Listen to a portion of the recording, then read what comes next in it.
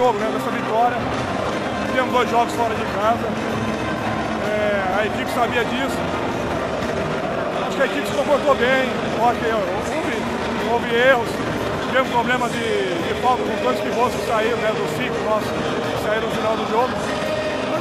Quem entrou no banco entrou bem, correspondeu, o time jogou coletivamente, que é importante isso. E agora é trabalhar semana que vem, já que não vamos ter jogo. A gente vamos ter dois jogos turísticos, né, que é Mogi e São José. Vamos nos preparar aí para a gente poder buscar duas vitórias fora de casa. E assim, você não tem esse preparo. Lá em Uberlândia eu tive até um preparo porque mandava embora e eu tinha um tempo para me, me readaptar, né? Um para me adaptar como técnico. Aqui já foi pego de surpresa. É, foi diferente, mas depois que o jogo começa, é, a gente procura fazer o nosso melhor.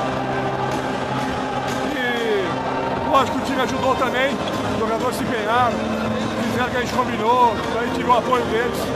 E o apoio do Neto, claro, que sempre esteve do meu lado aí, nos intervalos, antes do jogo, a gente conversou bastante esses dias. Também, isso é mérito dele também, que está sempre do meu lado me apoiando.